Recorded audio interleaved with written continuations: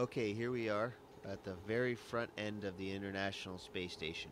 Uh, this is uh, the uh, forward end of Node 2, and uh, this is uh, right behind this hatch is uh, the PMA, the pressurized mating adapter, to which the space shuttle docks whenever the next space shuttle comes.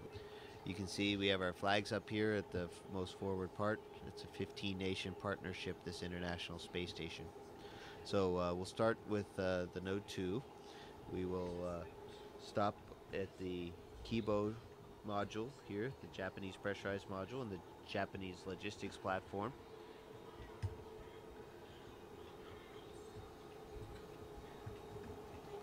We'll stop back there in a second.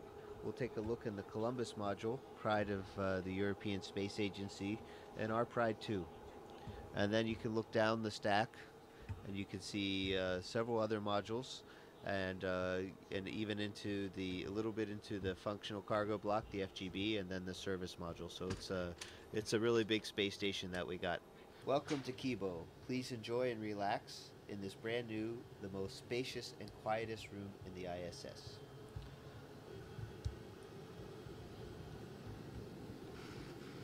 You can see here, uh, this is the Saibo rack, which is uh, for cell biology. And then we have a fluid rack, Ryutai. So these are the two main Japanese science racks that are up here now. There's more that are coming. Let's take a quick look out the window before it gets dark outside. We're going around uh, every, the world every 90 minutes, so uh, it gets uh, we get to see a lot of sunrises and sunsets. Oh my goodness, it's beautiful up there. So this is looking out the port side of the space station, and we're actually also on the front side, so front port side of the space station. And let's take a look what we can see out there. We can see the robot arm I was talking about, the JEM RMS. Those orange things are the solar arrays on the on the port side. And you can see we have a full set, and uh, 15A STS-119 is going to be bringing up the uh, the last uh, solar array on the starboard side. And take a look. There's our blue, beau- beautiful blue planet there. And uh, looking at this and where we are, I'd say we're over the uh, uh, South Indian Ocean. You can actually see some icebergs down there. So we're actually probably between um, Africa and Antarctica. You can actually see the different uh, shades of the blue water. Okay, so now fly with me. We're gonna go to the uh, we're gonna go to the Columbus module.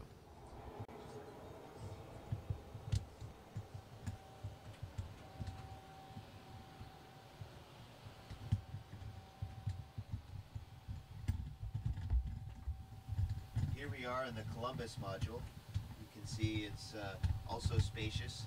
It's also cluttered because uh, it's a great place to store things or temporarily stow them. Uh, it's not going to be this way forever. We're going to have it nice and clean pretty soon. We're flying back to Node 2. We'll take a quick look what else we have here. We have my work area. It's a little bit uh, uh, cluttered right now but this is kind of my desk. It doesn't sit out uh, horizontally, but it's it's uh, but it has everything I need on it. This is my crew quarters right here. You can tell has my name on it. And in fact, I can give you a tour real quick of uh, crew quarters. This is what it looks like inside. There's a fair amount of room. We'll get the uh, has a standard uh, space station light on it. So now we're going into the Destiny Laboratory, headed aft on the space station. And uh, there's uh, my crewmate, Sandy Magnus. She's getting her exercise in for today. This rack is the oxygen generation system, and uh, we have a few too many things on this rack, and we're in the middle of cleaning it off, not not to interfere. But you can see oxygen. We're making oxygen, and when we make oxygen, we're breaking down water into hydrogen and oxygen, and the oxygen comes right out here. The water we're making it either comes from the condensate uh, from the air conditioning system, you know, the water that's in the air, or urine. So this is a really neat uh, bio, um, regenerative uh, uh, life support system. And now we're going to go back into one of the first modules, Node 1, which is also called Unity. Uh, these are, our, this is our, our pond or our wall of water that's down here. Uh, we have different kinds of water, and these are called contingency water containers, CWCs. And you can see different kinds. There's water that you can drink, and water that you can use for other things like flush water or, or generating oxygen. Now here's the airlock. Uh, as we go, the Quest airlock. This crew lock is a uh, is a hatch that goes outside into space. So uh, you can see that hatch right there. In the meantime, we're kind of store, storing EVA related things here.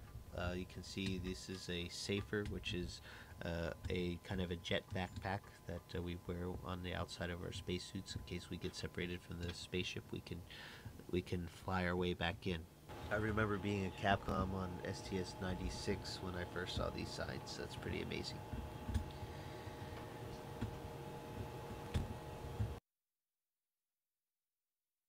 And we're floating into the Russian side of things. First and foremost, we are now in the pressurized adapter part of the functional cargo block. We call it the GA, and it's also a docking port down below. As you carefully look down below, you can see the hatches, and inside the that what you can see in front of us is a uh, the docking mechanism for the Soyuz. It's very compact and not a lot of room. Makes it very efficient.